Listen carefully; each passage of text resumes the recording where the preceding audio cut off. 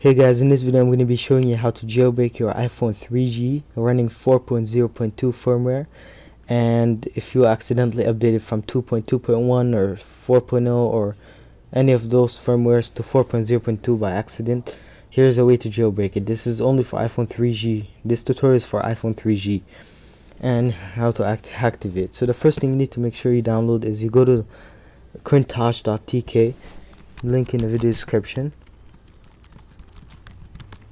crint0sh.tk and as you can see this program has the firmware and how to jailbreak the firmware. So scroll down is live. I released 2.0 so scroll down until you see 2.0 click on it the download and Mediafire will pop up. Click here to start. And save and save to your desktop. Make sure it's on your desktop. Then exit um, the site unless you want to read it. Cancel. I clicked it twice. So it's only 10 megs and it's really amazing program. I'm gonna review it too. Okay so now it's done. Click close and as you can see it's right here. Mm, this this one right here. Crint0sh firmware downloader. Double click on it. Click run and says it's always recommended that you have iTunes installed. If you don't have iTunes, you can download it by going to Extras, download iTunes. Press OK. This is the program. If you can see Extras, download iTunes, and iTunes website will open after this message. Please click download and choose open, then install iTunes. Okay, so it's gonna open iTunes website. Right here, you click download and you click open run. So I'm gonna press cancel and escape because I have iTunes now this is the iPhone 3G you click on it and 4.0.2 click on it. It'll give you a download link. Now to ask you if you want to save the firmware. Uh, I'm gonna save it. And when you minimize you can see a pop-up saying here you can jailbreak 4.0.2 firmware by using Redsn0w by iPhone dev team. So you click OK it tells you how to jailbreak to jailbreak, I will be sending you to Redsn0w's site, then download Redsn0w and download 4.0 firmware from this program to browse for Redsn0w. Proceed with the jailbreak. So what it's basically going to do is going to bring you to Redsn0w's website and you're going to download um, the Redsn0w and download 4.0 from this program. Um, this program. So it's going to open the site. Scroll all the way to the bottom as you can see Mac Windows. Let's click on Windows. Click here for the attachment and click save on your desktop. Make sure everything's on your desktop. Exit out of the site and keep it downloading below. And it says here again you also have the ability to unlock your iPhone 3G one by going to Cydia search ultrasn0w and reboot. Then your iPhone 3G is unlocked. Click OK and that's what the whole thing about 4.0.2 so I'm gonna download 4.0 so that I can browse it in Redsn0w because when Redsn0w is on you you navigate you point to 4.0 firmware even though you're on 4.0.2 it's just that it uh, Redsn0w doesn't recognize 4.0.2 but it works on 4.0.2 okay so now it's downloading and it says 4.0 you can jailbreak 4.0 you go to to jailbreak go to Safari on your device go to jailbreakme.com then slide jailbreak. That's for 4.0 you also have the ability to unlock that's only for 4.0 we're on 4.0.2 after you're done click exit and minimize the program where you can escape. I'm going to minimize. And it will be downloading the firm all the needed files. So the program gives you all the needed files to jailbreak. That's really amazing program for a lot of you out there. Now Redsn0w is done I'm gonna make sure I drag it next up here so you can see it. And 4.0 is still downloading and I'm gonna stop 4.0.2 so that we can have faster downloads. And the firmwares are downloaded from Apple server so you can gain more uh, internet speed to download the firmware so you won't have to wait hours. As you can see at uh, kilobytes per second it's increasing. 290 294 298 now it's 302 it's, it's gonna give you the maximum speed.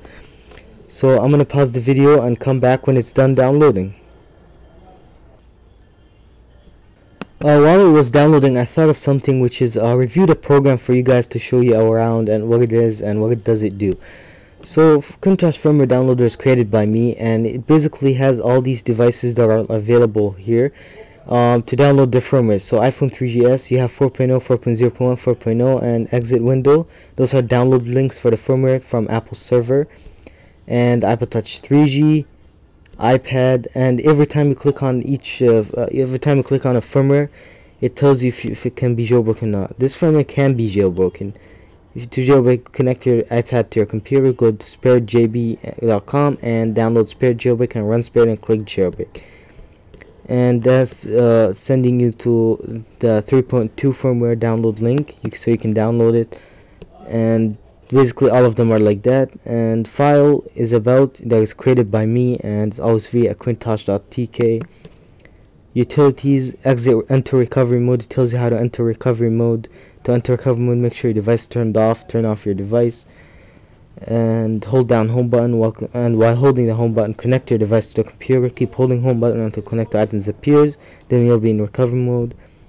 How to enter DFU mode. I will take you to a video showing you how to enter DFU mode uh, this uh, video is by by iH8sn0w. I got permission from him so it's alright. So this video is going to be showing you how to enter recovery mode.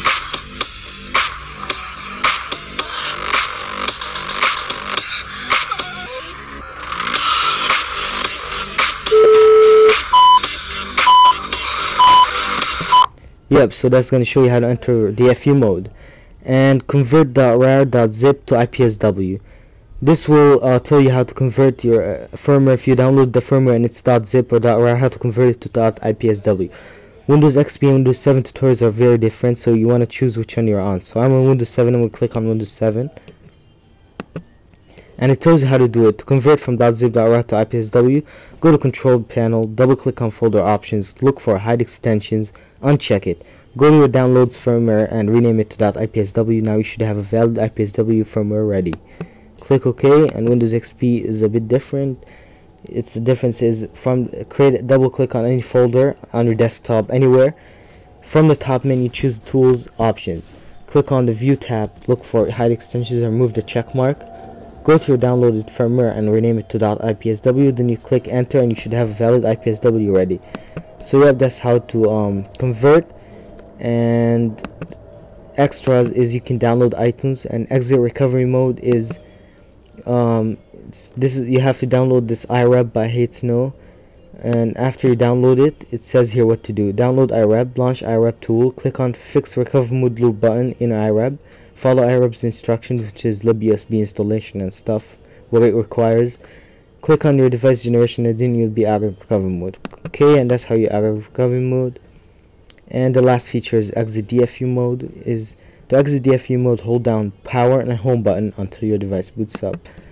And that's basically the program and 3.0 will have 3.4.1 firmware so the next update to the program which is the major one 3.0 will have the 4.0 4.1 firmware and the new devices will be added here that will Apple release. But uh, small fixes like for any bugs is 2.1 or 2.1.1 so yep that's the program. You can check for updates exit. That's the program. So let's see where the download is. Good so far. Okay I'll be back. Basically ready for Redsn0w. So go to your downloaded Redsn0w and extract it. Make sure you have WinRAR installed. And it'll be in a folder like this. Double click the folder. And double click on redsn0w.exe and here you browse for the 4.0 you just download it so mine is 4.0 right here I'm gonna click here and it's gonna say IPSW successfully identified. Next make sure you're connected to the internet for this because it's gonna grab some jailbreak data from the internet. Now it says install Cydia verbose boot custom boot logo recovery I mean custom boot logo custom recovery logo enable multitasking home screen wallpaper enable enable battery percentage and all that I personally don't have an iPhone 3G right now, but that's the way of doing it. If you're right up to here, you're basically good to go because nothing is hard after now. So I'm going to unselect all this except Cydia and click next. It says make sure your device is both off and plugged in to the computer. If not turned off, plug the device into the computer first, then hold down the power button on the edge of the device until slide to power off appears, then slide to power off. Click next only when your device is both plugged off pl is both off and plugged in. Click next. Hold down the power button corner for two for three seconds. Now release the power button for eight seven six five four three two one. That's how to enter DFU mode. And if you have problems here for DFU mode um, if you have problems here for DFU mode you can go on my program Crint0sh FW downloader.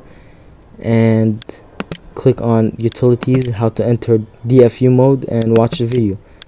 Then this message won't appear in Redsn0w it just continued jailbreaking. So I'm gonna wait for it to um, count down to the zero even though my iPhone 3, my iPhone is not connected because I have a 3GS not a 3G okay so no device detected. You probably misunderstood. Nope I understand. We all understand. It's just the device is not connected so yep that's how you do it to jailbreak. After you continue wait for it to finish then you're done basically done. To unlock listen to go back to for FW downloader and click OK to make sure iTunes is installed. And go to 3G and click on your 4.0.2 and yes we know that it can be jailbroken. And jailbreak yes we, we already followed the instruction. Now to uh, ability to unlock your iPhone 3G after it's done jailbreaking using Redsn0w go to Cydia and go to search and look for UltraSn0w type in UltraSn0w and install it then reboot. After it reboots your iPhone 3G should be unlocked. Okay so that's how you jailbreak your iPhone 3G running 4.0.2 firmware. Thank you for watching. Please make sure to rate comment and subscribe for more videos. See catch you guys later